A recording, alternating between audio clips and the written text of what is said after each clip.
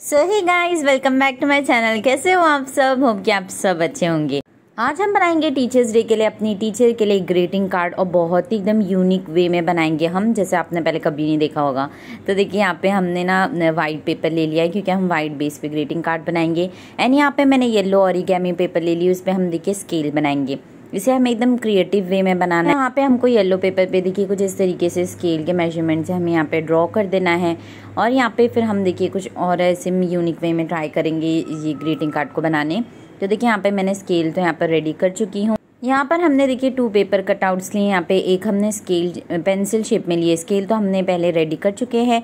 Scale पे और देखिए नेक्स्ट जो हम यहाँ पे रिपोर्ट कार्ड बनाएँगे तो देखिए पेंसिल मैंने यहाँ पर ड्रॉ कर चुकी हूँ। देखिए कुछ इस तरीके से कितनी क्यूट लग रही है पेंसिल अब नेक्स्ट यहाँ पे हम देखिए ये वाइट पेपर लिए ना इस पर मैंने रेड से मार्क कर दूँगी बॉर्डर यहाँ पर। एंड इस पर ना हम रिपोर्ट कार्ड बनाएँगे अपनी टीचर के लिए, ठीक है? तो देखिए ये भी बहुत ही क्रिएटिव रहेगा। तो नेक्स्ट आप, आपको बताना कि आपको क्या वीडियो देखना है टीचर्स डे पे। मुझे कमेंट करके ज़रूर से बताना। अगर गिफ्ट आइडिया देखना है तो मैं गिफ्ट आइडिया आपके लिए ज़रूर से लेकर आ जाऊँगी। तो देखिए कितना क्यूट सा रिपोर्ट कार्ड यहाँ पर हमने बनाया। मुझे तो लगता है ये मेरी टीचर को बहुत ज़्यादा पसंद आएगा क्योंकि बहुत ही क्रिएटिव है।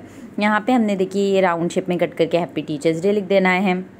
ये सारे जो कटआउट्स हैं ना, इसके बैक साइड पे आपको डबल साइडेड टेप लगाना है और हम उसे डबल साइडेड टेप की हेल्प से स्टिक करेंगे। तो देखिए, यहाँ पे बैक साइड पे ट्रेस मार्क भी नहीं आएगा। तो देखिए, यहाँ पे कुछ इस तरीके से मैंने सारे ही जो कटआउट्स थे, उसको फ्रंट पेज पे स्टिक कर दी हूँ।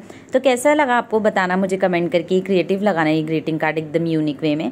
तो देखिए, यहाँ पे सारे मैंने कटआउट स्टिक कर दी इन साइड भी मैंने देखिए बेस्ट टीचर एवन एंड यहाँ पे देखिए थैंक यू टीचर करके लिख दी हूँ। यहाँ पे एंड देखिए, कुछ डेकोरेट कर दी हूँ। फ्रंट भी देखिए, थोड़ा सा सिंपल लग रहा था तो हम यहाँ पे अट्रैक्टिव बनाने के लिए कुछ इस तरीके से मैंने यहाँ पे डॉट्स कर दी हूँ। कैसा लगा मुझे कमेंट करके ज़रूर से बताना। वीडियो पसंद आई तो वीडियो को लाइक कर देना। ऐसी और क्रिएटिव वीडियोज़ देखने के लिए चैनल को सब्सक्राइब कर लेना। Bye guys